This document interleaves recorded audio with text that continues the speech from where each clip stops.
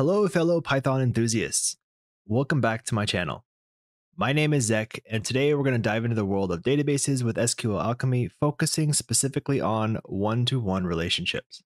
And whether you're a beginner or you're looking to brush up your skills, this video is for you. Don't forget to hit that like button and subscribe for more Python tutorials. So, first, let's understand what a one to one relationship is in the context of databases.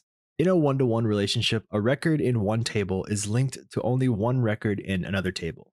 You can think of it like a marriage between two people, but instead of people, we have tables. And it's where each record is paired with exactly one record in the other table. And so to get started, make sure you have Python and SQL Alchemy installed. We will also use SQLite for this example. And first, we will begin by importing the necessary modules from SQL Alchemy, so the ones that we have here. And then we'll go ahead and set a variable called db_url, and we'll set it equal to SQLite colon forward slash forward slash forward slash database.db. This will be relative to the current file. And so here we'll go ahead and create our engine, and we'll use the create engine function that we've imported up here with our database URL. And then we'll go ahead and create a session object equal to session maker, and we'll bind it to our engine. And then we'll say session is equal to session with the open and close parentheses. This will give us an actual session for our database that we can use to perform transactions or different kinds of operations on the database. And so from here, we'll go ahead and say base is equal to declarative base. And then we'll create a user class inheriting from the base. And we'll say the table name is equal to users. We'll give it an ID as an integer as the primary key. A name column that'll be a string. And then a column of addresses that is a relationship to a class that we're going to call addresses. I will explain the rest of these here in a minute. We'll go ahead and create the addresses class, also inheriting from base, giving it a table name of addresses. We will also give it an ID of integer as a primary key, an email, a user ID, and then a user. And this user is a relationship to our user class. Note in here these quotation marks. You can see that in both of these relationships, the first argument that is passed is the stringified version of the class name that we have. So here it has string with address, and this class name is address. So you can do that to declare which table you want the relationship to be with.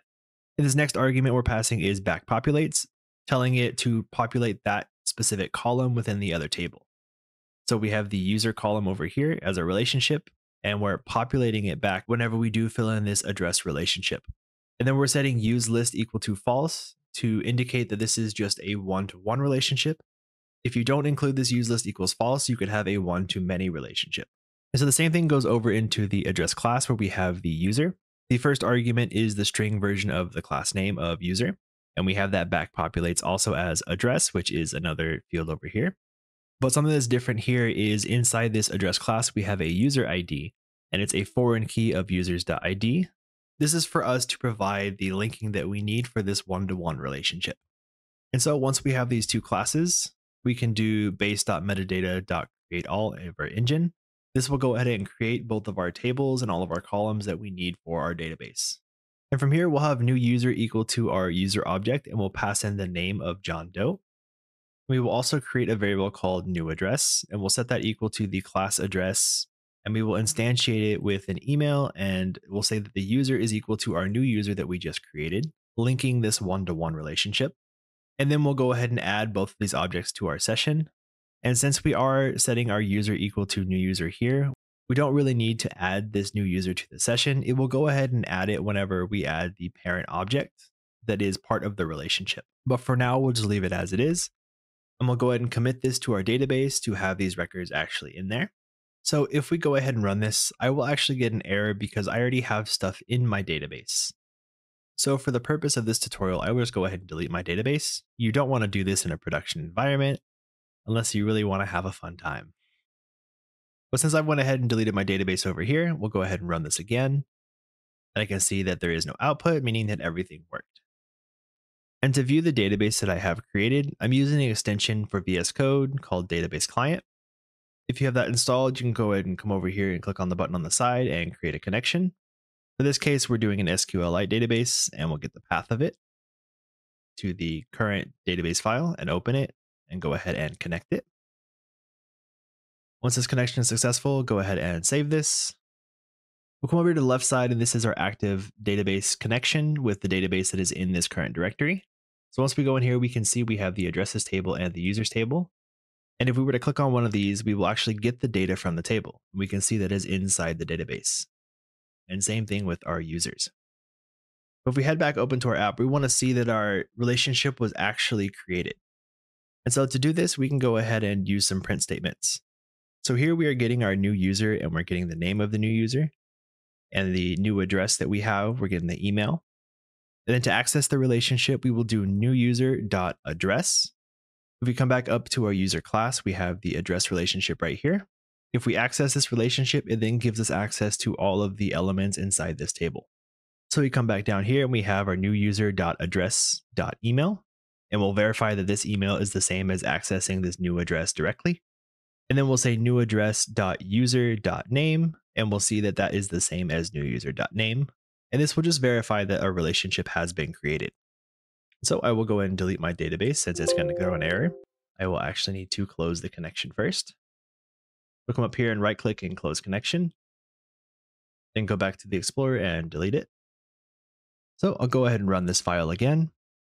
And we can see that it prints the new user's name of John Doe and the new address.user.name is also John Doe. And then the new address.email and new user.address.email are both the same down here in our output. So we'll go ahead and comment all this code out so it doesn't try to recreate and throw an error again. And then we'll actually perform a query here so we can see that the relationship has been retrieved whenever we access data from this database. So here we're having our user is equal to session.query of the user table. And we're going to filter by the name of John Doe since that is our only entry. And we'll get the first entry. And then we'll go ahead and print the user's name and the email from the address. So if we go ahead and run this, we can see it does get John Doe and the address of john at example.com. And so another situation we can have is where we have a class or a table that needs to reference and have a relationship with itself. So an example of this is let's say we have something like a linked list, but we have it in a table format. So we can have a node that points to another node, and it can keep going until we get to an endpoint. So we can go ahead and do this by creating a class node inheriting from our base. We'll go ahead and give it a table name of nodes. We'll throw an ID on there as the primary key and a value as an integer and make it not nullable, meaning there has to be some kind of value for it. It cannot be empty inside the database. And then we'll go ahead and throw on here a node ID as an integer with the foreign key of nodes.id referencing this ID from the table. And then we'll have a variable next node equal to a relationship of the node class that we have here to itself. We'll pass it the argument of remote side equal to ID. This is just linking this relationship to the ID of the other table. Then we'll pass another argument of use list equals to false. And so once we have that, we have successfully created the relationship from a table to itself. And to make this output a little bit easier for us, we will declare this double underscore repr double underscore function inside of our node class. And we'll return an f string of node to see what the current value of this node is and the next node as well. And so we'll go ahead and create everything from our engine. So it'll create this table for us. And then we'll go ahead and declare some variables. So we have node one equals to node with value set to one, and then node two value set to two, node three value set to three. And so here we're going to go ahead and set node one dot next node pointing to node two. And then we'll say node 2 dot next node is pointing to node 3. And so from here, we'll go ahead and do session dot add all and pass a list of all of our nodes. So that way it can be all be added to our database. Then we will go ahead and do session dot commit, and then we'll go ahead and print out all three of the nodes that we created. So we'll go ahead and run this. And we can see it printed out node with our value of one, and the next node is pointing to node two, and that one is pointing to node three. And this is for printing the first node, showing the first node is pointing to node 2, and the second node is pointing to node 3. And then when we point node 2, it's only pointing to node 3, so it's only going to show that in the output. And then node 3 is not pointing to anything, so it's just pointing to nothing. And this will work pretty well until you have a node that is pointing to some other node inside this current list. So in this case, we have node 3 and we're pointing the next node equal to node 1, which is then pointing to 2 and 2 is pointing to 3, 3 pointing to 1. So it's just a giant circle going and going. If we go and leave this here and run this, we can see that a circular dependency detected. One way to get around the circular dependency is to create an association table. And we can do this by creating a class and we'll call it node association, inheriting from our base. and we'll set the table name equal to node association, and we'll give it an ID of an integer and make that a primary key. Then we'll set a variable current node ID is a column with a foreign key to nodes.id. And then we'll have a next node ID, which is the exact same thing as current node ID. And so once we have it this way, we can get rid of node ID inside of our node class. And this next node will change up a little bit. So it's still going to be a relationship to itself and useList is going to be false. But we do need to add the secondary table of our association table, whatever you called it in table name. And then we need to specify a primary join showing how this class is going to join with the association table. And so the primary way will be joining this node with the association table when the current node ID is equal to this node.id. And the secondary join will be when the next node ID is equal to this class's ID. And so once we have it this way, we can go and run it and we can see that we no longer have the circular dependency, but there is still a circular dependency, not directly with SQL Alchemy, but within Python code. And this is just a matter of printing here. If we remove this and go ahead and run it again, we can see that it is perfectly fine. And that's how you set up and use one-to-one -one relationships in SQL Alchemy. Remember, the key is how you define your models and relationships. You can experiment and change up with different data models and see what you can create.